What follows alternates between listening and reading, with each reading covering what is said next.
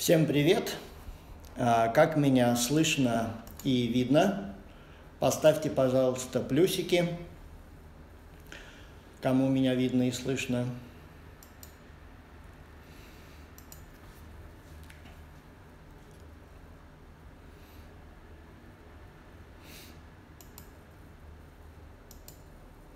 Отлично.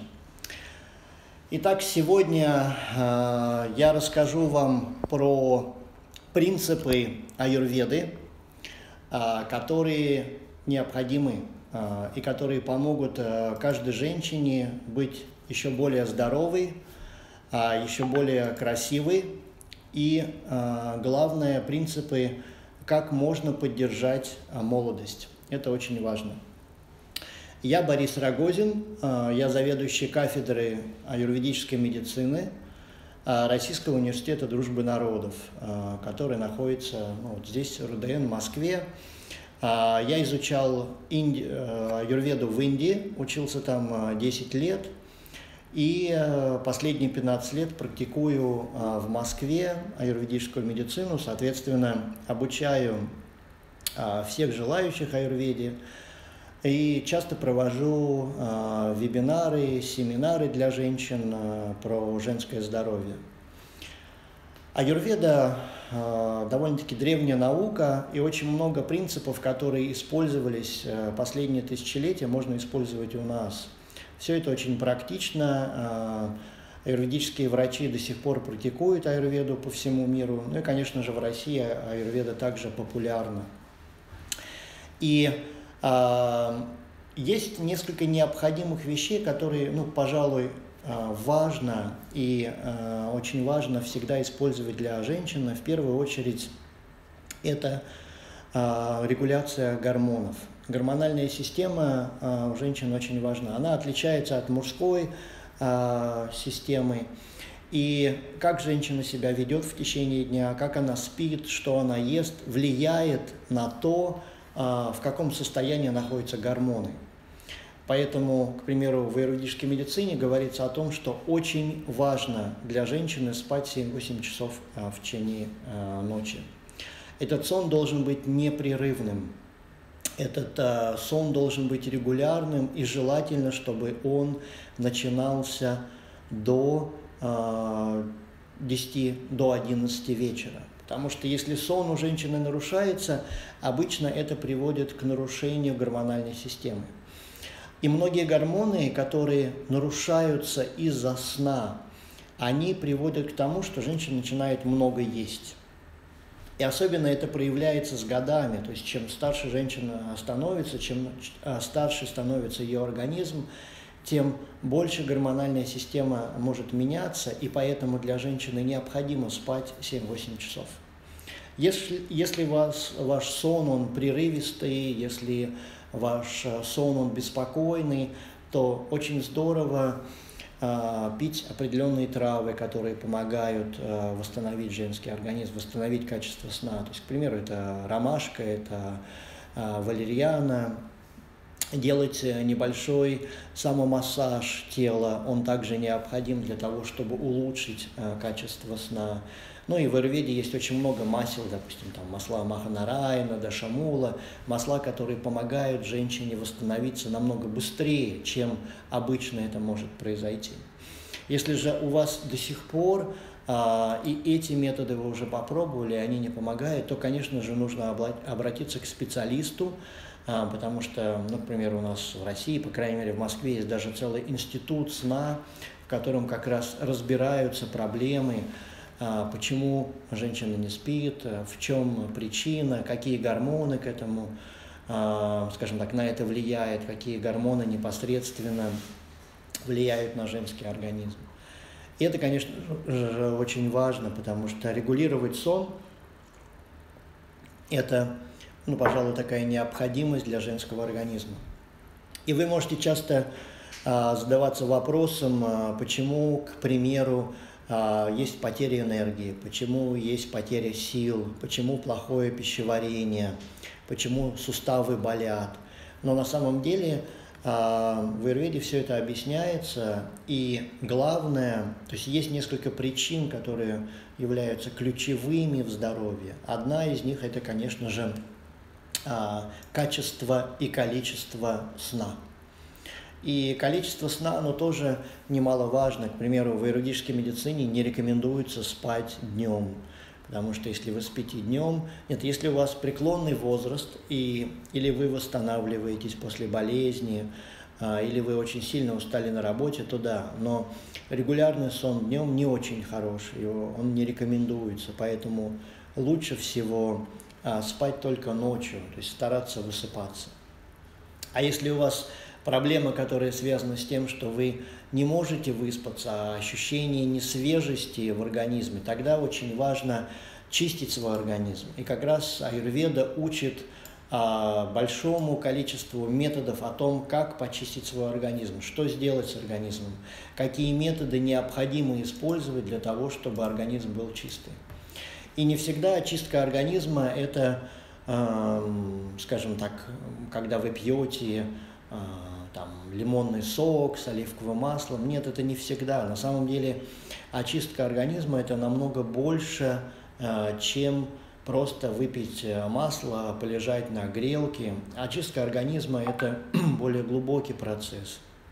Он должен быть постоянным, то есть постоянно нужно ухаживать за своим телом, следить а, за теми сигналами, а, которые тело, а, а, скажем так, посылает вам. И вот как раз на кафедре, на которой я преподаю последние три года, это кафедра аюрведы при РУДН, а, там мы разбираем все эти процессы, обучая специалистов а, по аюрведе, обучая а, всех желающих тому, как поддерживать свое тело. Но на самом деле для этого сейчас не обязательно приезжать в Москву, и учиться здесь. Есть очень много курсов э, онлайн, в которых вы можете узнать о том, как поддерживать свой организм и что необходимо для э, здоровья. Э, и так как я говорил, в первую очередь это качество и количество сна влияет на повседневное здоровье, на запас энергии, на работу пищеварения, на ваши эмоции и, конечно же, на гормональный фон.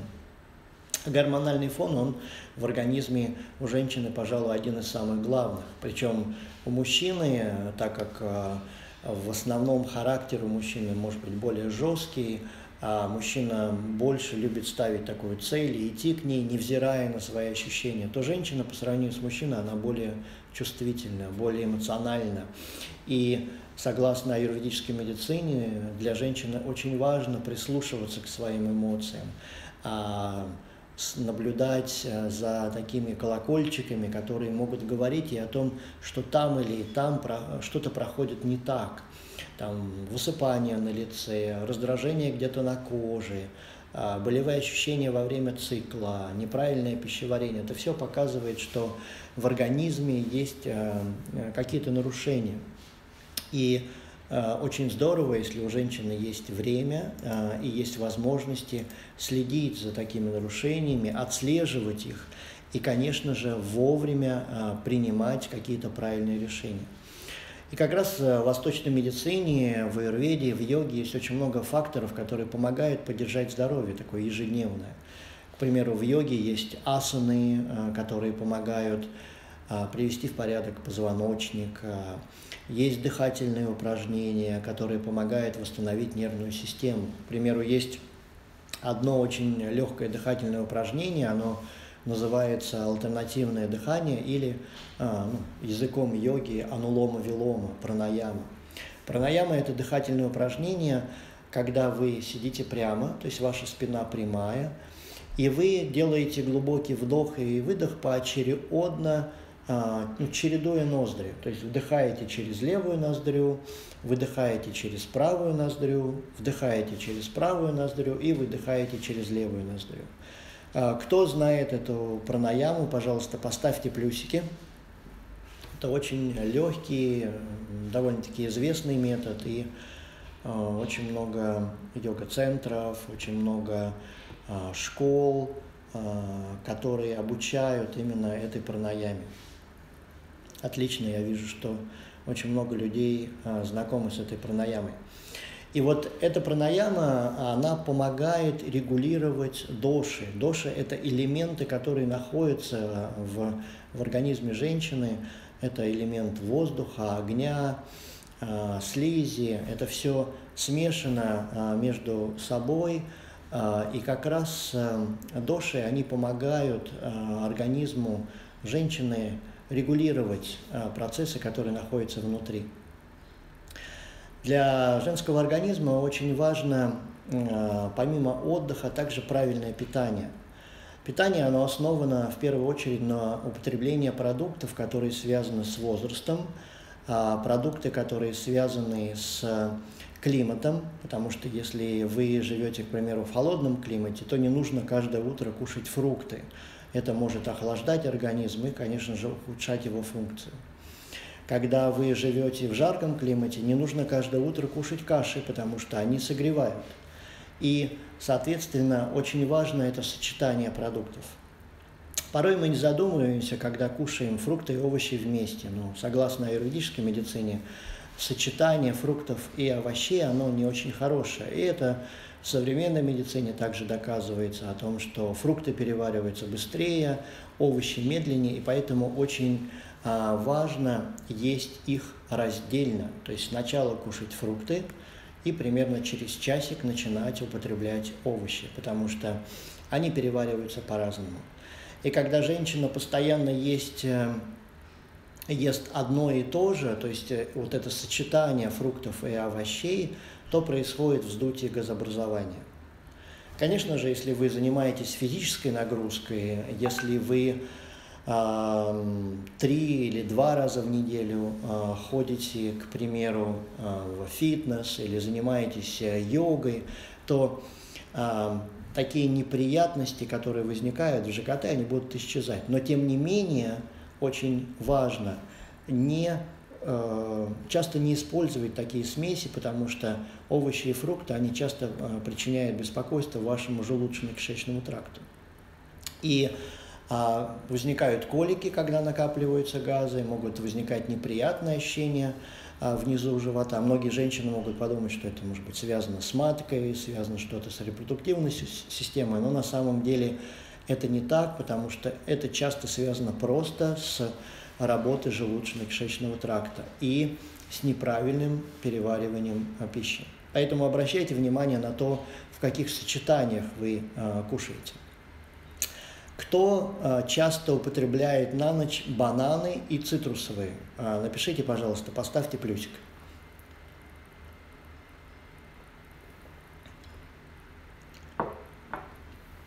Бананы и цитрусовые – это, пожалуй, тот продукт, который, ну, наверное, если посмотреть во многих магазинах, просто сметается с пола, когда он появляется зачастую. Вот. Итак, Смотрите, бананы и цитрусовые для того, чтобы желудочно-кишечный тракт был здоровый, очень важно не употреблять после 6 вечера. А бананы, они, хотя это, казалось бы, легкий продукт, они не будут хорошо усваиваться вечером. А цитрусовые на ночь, они, наоборот, повышают кислотность. И поэтому старайтесь не есть после 6 вечера бананы и цитрусовые, любые цитрусовые фрукты. Если вы кладете кусочек лимона э, в чай, это ничего страшного, но именно съесть цитрусовые фрукты или выпить стакан цитрусового сока на ночь, это не очень хорошо. Это меняет кислотность и зачастую у многих женщин вызывает, э, опять-таки, вздутие газообразования, что неприятно. Это, конечно же, может влиять и на эндокринную систему, и на эмоциональные составляющие. Если вы периодически делаете чистки организма, конечно же, это помогает, потому что, к примеру, если вы раз в неделю делаете чистку, чистка может э, представлять из себя просто разгрузочный день. То есть, к примеру, вы варите гречку и целый день кушаете только гречку. Здесь практически нет противопоказаний, за исключением того, что беременным женщинам не нужно делать чистку. И вот если вы делаете такую чистку, то это, конечно же, будет убирать такие проблемы, когда у вас есть неправильное сочетание продуктов, когда вы там, неправильно спите, организм будет восстанавливаться, у вас будет больше энергии, больше энтузиазма. А если вы делаете продолжительные чистки, там, 5 дней, 7 дней, 14 дней, то это также будет помогать очищению организма. Но тем не менее обращайте внимание на такие вещи и, соответственно, а, не смешивайте продукты между собой и не ешьте бананы и цитрусовые на ночь. А, я а, часто рекомендую своим пациенткам использовать специи в приготовлении пищи. Кто использует специи помимо черного перца и помимо соли, потому что интересно, что у нас в России, когда с человеком говоришь и спрашиваешь, какие специи вы используете, э, соль и черный перец. Кто использует другие специи? А, есть такие из слушателей?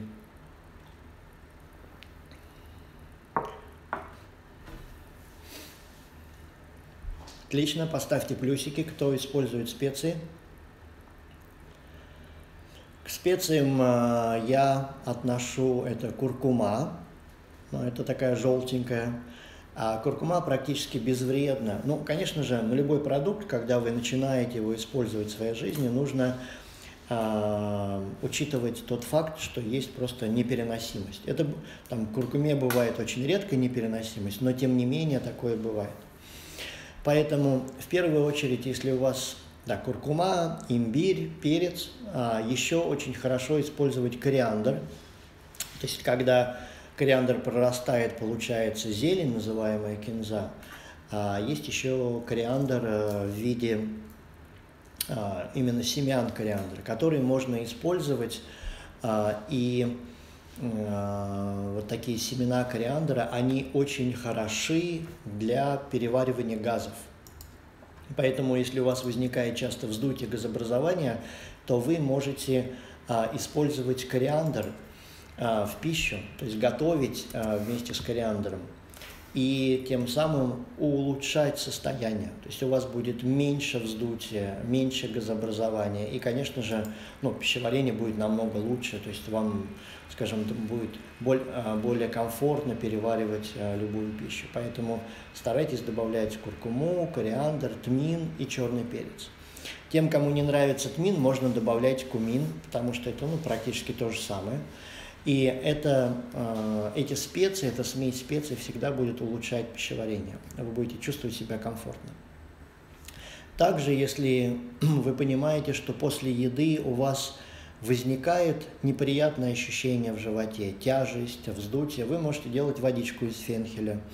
Это чайная ложка фенхеля заливается стаканом кипятка, а, и э, примерно через 10-15 минут вот такую водичку можно пить. Если вкус фенхеля вам не очень подходит, вы можете использовать также кориандр, можно использовать семена горчицы или же семена э, петрушки, которые часто женщины используют во время э, беременности или во время кормления. Все эти специи помогают э, избавиться от э, неприятных ощущений в животе, от тяжести в животе, и вам не нужно будет пить там, всякие мизимы, или другие э, химические средства, которые могут ну, в буквальном смысле причинить беспокойство слизистой ЖКТ и а, в дальнейшем ухудшить а, сли, а, слизистую ЖКТ. А, старайтесь использовать а, ну, такие более натуральные а, средства. Это, конечно же, а, поможет вашему пищеварению. В аюрведе также говорится а, не употреблять э, во время еды ничего холодного, потому что если вы э, употребляете во время еды холодные продукты, ну, к примеру, там, запиваете пищу холодной водой, употребляете мороженое сразу после еды, то это обычно приводит к ухудшению пищеварения. И особенно вот в летний период старайтесь есть мороженое отдельно от еды. Потому что всегда, когда вы употребляете сразу после еды холодные продукты, то это останавливает пищеварение, замедляет пищеварение и, ну, скажем так, э, э, вся пища, которая находится у вас внутри, будет э, там, перевариваться через очень продолжительное время, а это не очень хорошо. Поэтому холодное нужно есть отдельно. Вообще в Аюрведе говорится, что еду нужно запивать просто теплой а, водой. То есть прямо во время еды пить теплую воду, и тогда все будет а, как бы хорошо. И а, не нужно запивать еду фруктовыми а, соками, ну только если это не какая-то там сладость, да, то есть. А, и, кстати, всегда, когда, скажем так, а, вы любите, если сладкие вещи, их нужно запивать горячим чаем. Окрошка, а, это как раз вопрос в чате, окрошка, она хороша только для летнего периода, она всегда подается прохладной, причем тоже окрошку не нужно в ледяном, да, то есть то есть не нужно, вы сначала взяли тарелку с окрошкой, разбили там лед и вот это едите. Это не очень хорошо. Окрошка она должна быть просто прохладной. И как раз а, такой а, продукт, он помогает, ну скажем так, охладить тело.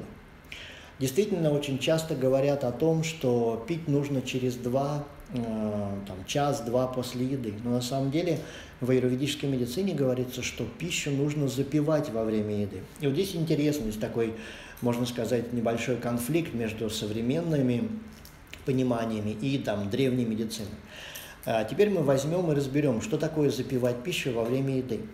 Это не значит, что вы пьете стаканами во время еды. Вы съели одну, две или там три ложки еды и сделали небольшой глоточек теплой воды – когда вы начинаете пить воду со льдом, вот это как раз нельзя делать. Когда вы начинаете после каждой ложечки еды выпивать стакан воды, это нельзя делать. Но пить именно вот такими небольшими глоточками во время еды, это очень хорошо, это помогает пищеварению. И ну, можно подумать о том, что, может быть, аюрведа заблуждалась, к сожалению, нет, потому что, смотрите, очень много современных э, открытий, современных идей, они через некоторое время становятся неактуальными. Я просто помню, когда я еще учился на медицинском факультете, э, было четкое утверждение у всех врачей о том, что нужно обязательно есть обезжиренные продукты. И многие до сих пор их едят. Но лет через 15 после этого а, врачи и те же самые ученые доказали, что оказывается обезжиренные продукты вызывают диабет и заболевания сердца.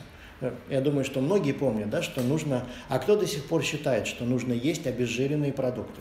Когда вы плюсик поставьте, пожалуйста, кто считает, что обезжиренные продукты обязательно нужно есть?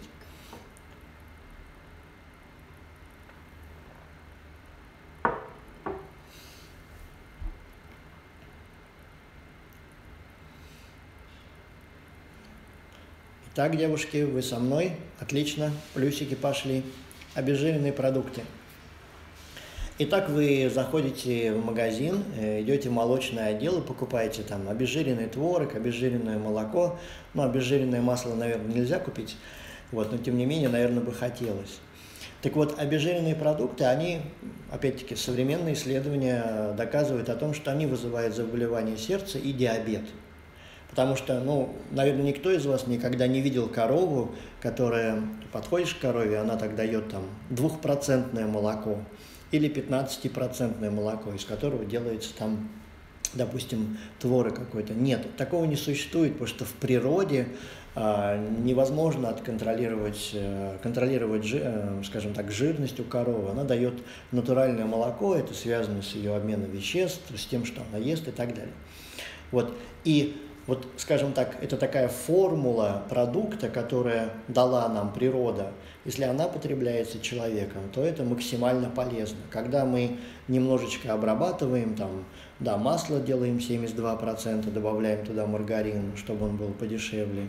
Когда молоко разбавляется, а, когда разбавляется творог, то есть меняется его, то это не совсем натуральный продукт получается. И Поэтому, к примеру, я часто там своим пациенткам говорю, что надо кушать фермерские продукты, они более-менее, они приближены к натуральному, скажем так, состоянию.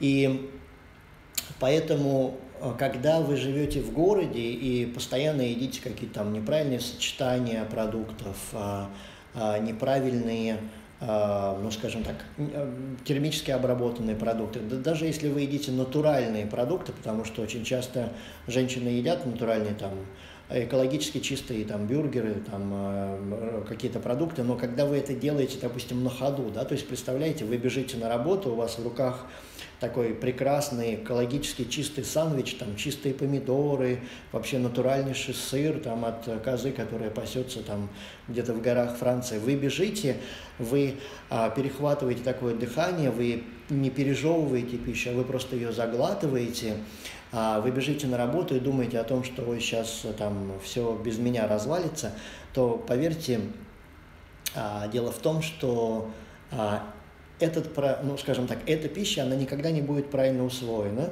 то есть она не даст вам никакой пользы, кроме вреда, потому что вы накопите токсины в организме, потому что это как раз э, просто непережеванная пища, которая, ну, скажем так, захвачена на ходу. И поэтому такие простые вещи очень важно знать, что нужно просто сесть. Всегда, когда вы завтракаете, обедаете, ужинаете, неважно, вы должны сесть, у вас должно быть хотя бы там 5, 10, 15 минут о том, чтобы подумать о еде почувствовать ее вкус, почувствовать э, там, руками, э, не знаю, ложкой, увидеть, как она вообще выглядит, а не, не из какого-то пакета вы достаете там кусочек и кидаете в рот, как она выглядит. Потому что все эти процессы влияют на пищеварение, они влияют на то, как пища усваивается.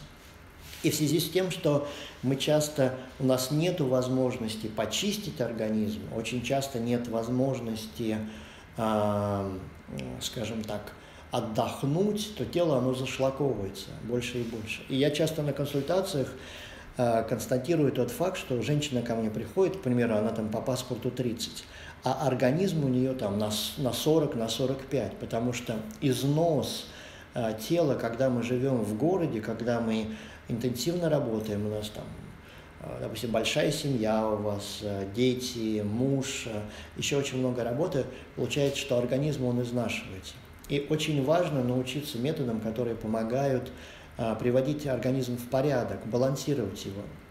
По крайней мере, делать периодические очищения организма, восстанавливать себя, заниматься практиками, вот дыхательной практикой. И дышать можно, допустим, то, что я вам рассказывал, вот это дыхательное упражнение, когда вы вдыхаете и выдыхаете через одну ноздрю.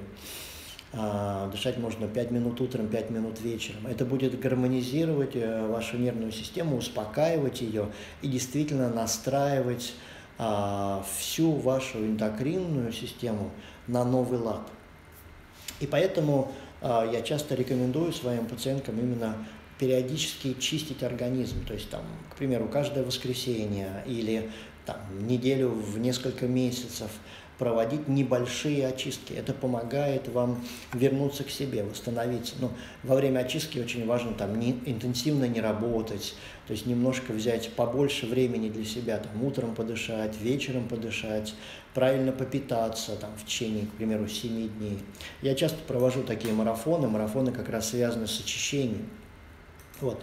И для всех, кому интересно, после э, этого э, онлайн скажем так, трансляции будет ссылка э, у меня на Инстаграме. У меня в Инстаграме будет ссылка о том, э, как проводить это очищение. Там будет очередной марафон. И вот Наталья как раз, э, у нее также будет ссылка на мой марафон. Если вам будет интересно, пожалуйста, присоединяйтесь. Да, есть такие дни, вот в чате как раз мне пишут и кадыши, а, и Кадыши – это одиннадцатый день лунного календаря, это один из самых благоприятных дней для очищения. Также очень благоприятно периодически чистить организм на, на убывающую луну, потому что тело как раз а, будет легче очищаться, потому что мы, наши тела, они взаимосвязаны со Вселенной, с окружающим миром. И, а, конечно же, те методы, которые изложены в юридической медицине, в йоге, они помогают нам понять наше тело намного больше. И для каждой женщины, пожалуй, есть очень много рекомендаций о том, как правильно, там, согласно своей конституции, почистить организм, как улучшить состояние и как раз как восстановить биологические часы. Потому что любая чистка, такая глубокая чистка, она помогает восстановить свои биологические часы. Конечно же, вы можете просто там поголодать или э, позаниматься интенсивной физической нагрузкой, но очень важно это делать все в сочетании, в таком в правильном балансе. И это будет помогать э, восстановлению.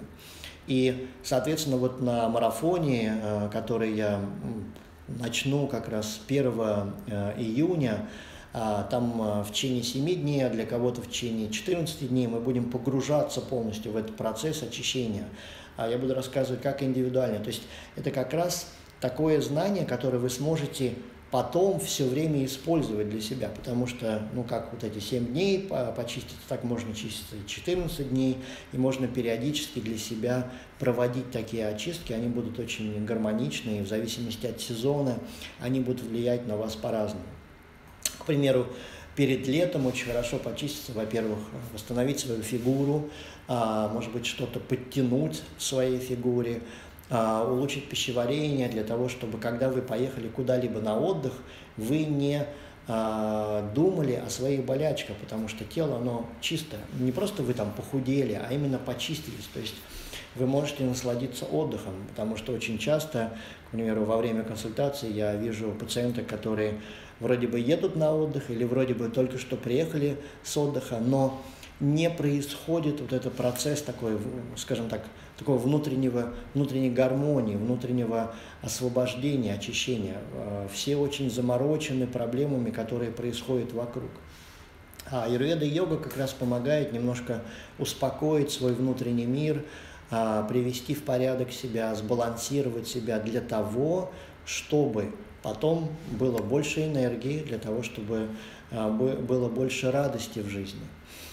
У меня был один учитель, э, которому было 125 лет, и я как раз у него учился пульсовой диагностике, и вот он говорил, что если вам положено прожить, э, ну скажем так, до 100 лет, то вы проживете, но вы можете прожить эти э, там, последние годы жизни в кровати, когда за вами будет несколько человек ухаживать, а можете очень активно двигаться, там, изучать что-то, путешествовать, а это как раз зависит от того, как, ну, насколько качественно вы живете. То есть, и как раз аюрведа учит качеству жизни, поэтому очень важно знать себя, очень важно понимать свою конституцию, очень важно понимать свои сильные и слабые стороны, а, то, что касается здоровья, и, конечно же, поддерживать их, потому что поддержание и предупреждение каких-то а, болезней, оно всегда легче, чем лечение самой болезни. Поэтому э, я всех приглашаю на марафон, почистить свой организм и надеюсь, что это будет эффективно. Также, кому интересно, вот вы знаете мой инстаграм, мой сайт ayurveda.ru очень простой, но вы можете меня везде найти в интернете. Для тех, кто позже присоединился, я Борис Рогозин, заведующий кафедрой аюрведической медицины при Российском университете дружбы народов. Я желаю вам всем счастья, здоровья и надеюсь, что э, дал вам что-то полезное. Пожалуйста, пишите свои вопросы, э, присоединяйтесь к моим марафонам, курсам и до новых встреч.